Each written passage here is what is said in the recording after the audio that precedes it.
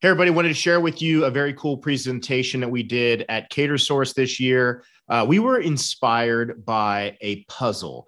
Uh, this presentation is called Puzzled. It's actually a platter that, after it is plated up, that the platter breaks apart and essentially disappears. You're left with nothing, uh, and the guests are able to walk away with a piece of the puzzle. Uh, each one of those puzzle pieces have uh, pretty much the same items on it. Uh, we had a, a, little flavorful parfait, some macaroons and the sauces, and uh, some cocoa butter. We spray painted all over the platter, but it was kind of an inspired, fun presentation. And for those of you that are now contending with guests maybe not wanting to uh, touch and eat from various uh, vessels, this is a way where basically they can pick up a piece of the platter and walk away with it.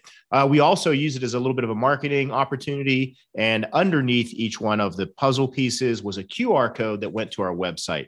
So check it out. Here's our presentation at CaterSource. It's called Puzzled.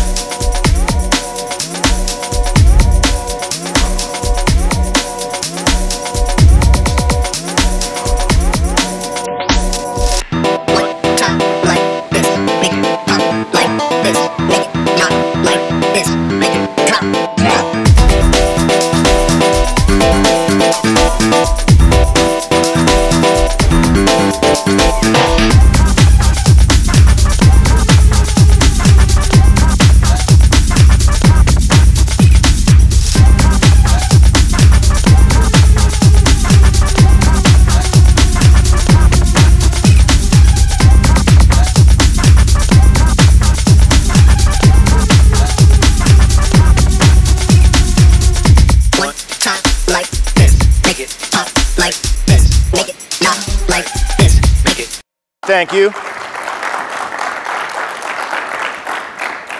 So, you know, again, just trying to create something like in front of your guests that they haven't seen before. And by the way, uh, we haven't ever done this before. We yeah, the first time. We picked it up on Friday. There was no rehearsing. We, we, a lot of times we like to just, you know, just go for it. Uh, but we, we reached, you know, everything. I mean, I, what I would tell everybody um, is to look at what you're doing and you don't have to uh, adopt every single thing you see. But the goal, I think even when you come to something like this, is to take in everything just like a filter and to evolve, to evolve what you're doing because you're all in different operations, you're, you have different menus, different parts of the country, but the, that's the one guiding principle that is consistent with everybody is if you just come into uh, your, your, your day on Monday and you're starting a new day after learning, seeing all these different things, uh, that's the one thing. It's like, hey, how can I make that salad uh, on our lunch buffet better? How can I make, create a really cool station for that wedding that's coming up in November? And that's what I've always done because we're all at different phases uh, in the runway of our careers. We're all in different, we're cooking different food. Uh, we all want it to be delicious, but the key, I think, in anything with presentation is to try to evolve